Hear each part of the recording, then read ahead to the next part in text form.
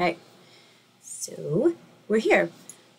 Um, I'm starting with this video first because I think it is the most important thing you can do is to get a hardware wallet. Start off with whatever is going to keep everything safe and secure first. Don't leave anything to chance. Don't just don't just don't do it. It's just not worth it. It's not necessary. It's not worth the heartache, the emotions, and the risk.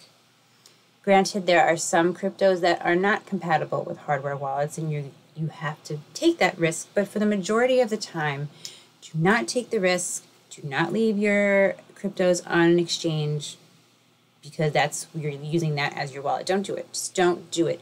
Safety is number one. Okay, safety is number one. So let's be safe and let's begin. So Ledger hardware wallets is uh, one of the number one hardware wallets. I, I use these and I love them. I love them. I have all great reviews. When I first when I first used it, uh, it takes you step by step on how to set it up. It again, it was something totally different than I've ever done before. So as you will learn using it, it's just a different, completely different thing that you're going to have to learn. It's like, you know, learning, I guess, to ride a bike. Once you do it, once you get it, you're good to go. Uh, there's also Trezor hardware wallets. Uh, both Trezor, Nano, and all hardware wallets have a user interface application that you will use with it to actually see your cryptos because you can't see uh, your cryptos in these wallets. These are uh, very simple, um, it's like simple computers that only send and receive and sign your uh, your transactions. So we're at 99bitcoins.com. Hardware wallets explained, reviewed, and compared. Okay, by Affair Big L. I don't think I'm pronouncing that right. And this was written on January 3rd, 2021. The most secure way you can store your bitcoins and other cryptocurrencies is on a hardware wallet, a small physical device that holds your private keys offline. And in this post, we're going to explain how they are and how they work. Okay. Hardware wallets use a form of two factor authentication known as 2FA. 2FA is also going to be used when you sign up for exchange accounts because it, you want to keep your account safe so no one else can hack into them. So uh, it's just something else to learn, but that's okay. That's okay. It's it's once you learn it, you're good to go. This means in order to access your funds, you need to prove your identity through something you have, the physical wallet, and something you know, the PIN code for the wallet. If you're serious about Bitcoin and cryptos, security in general, you need to get a hardware wallet. Okay, hardware wallets. As you know, stealing a piece of information from a computer isn't that hard these days. People can get in in so many ways. Someone can email you, uh, say like you won something, and then once you open it up, it can download uh, that software to your computer, and then that's their doorway into your computer. And then you can get hacked and they can steal all your stuff. Okay, hackers may be able to control your computer or see what's displayed on your screen. And once your private key is exposed, your cryptos are no longer under your control. You could easily they could easily be transferred anywhere the hacker chooses. To avoid this, you have two options. You can make sure your computer is completely free of malware um, most viruses are disguised as legitimate software or have a way to avoid detection by antivirus software or use a wallet that is immune to malware, so to speak. Keeping your private keys safe. That's what the hardware wallets do. They keep your keys offline and they never touch your computer. Simply put, a hardware wallet are computers that have been stripped down of all logic except for the small screen a button or two, and the simple action of storing keys and signing transactions. Hardware wallets look like USB devices, and they offer a minimalist approach to security. This is based on logic. The more complex device is, the more opportunities the hackers will have to infiltrate it. This is the ledger right here. This is the Trezor, and this is the key key. Okay. Due to simple design, hardware wallets can't connect to the internet or run complicated apps. They are just a form of storing your private keys offline. This approach is known as cold storage, unlike devices that connect to the internet, which are called hot wallets. All right, so how do they work? Okay, so the first thing to note is that because a hardware wallet is such a simple device that only they can only sign transactions, it needs to use a more sophisticated computer for other functions. That's where, if you're using a Ledger, the Ledger Live comes in. You use that application to um, see your data. so, in order to use your wallet, you'll need to connect to a personal computer, download the program that can communicate with it. This is a bridge. Hardware wallets only allow specific types of data to pass through it, such as cryptocurrency transactions. Once a hardware wallet receives a transaction from the bridge, it signs it and sends it back to the bridge program. The private keys never leave the wallet. Again, the private keys never leave your wallet. I could not be stressing this enough.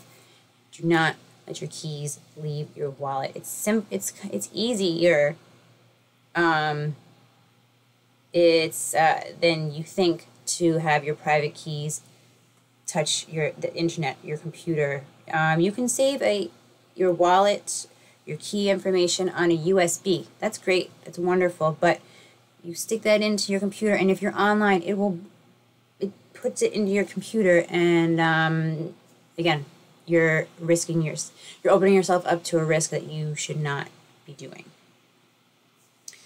Okay.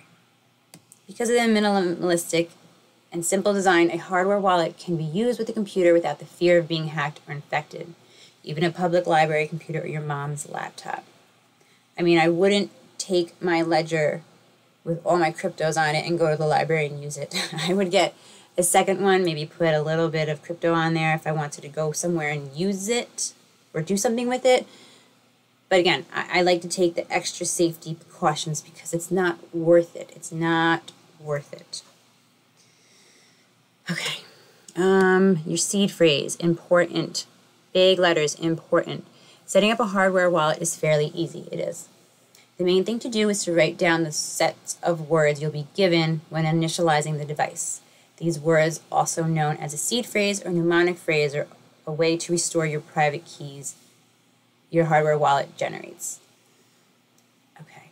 Whomever gets a hold of these words would also control your Bitcoin. So it's important to keep your seed phrase written offline in a safe place.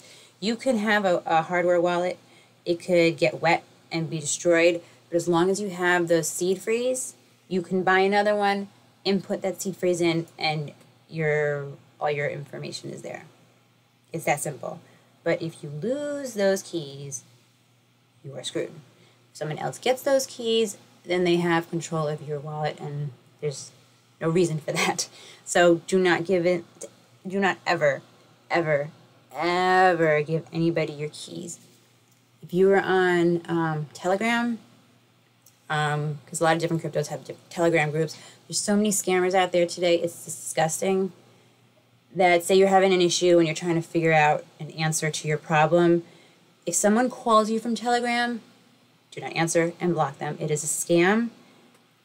And if you upload your keys and they get them, holy crap, it that's it. It's scary, but you know, if anyone DMs you and says, "Hey, DM me on the side," don't do it. Just walk away. You can find answers in other places.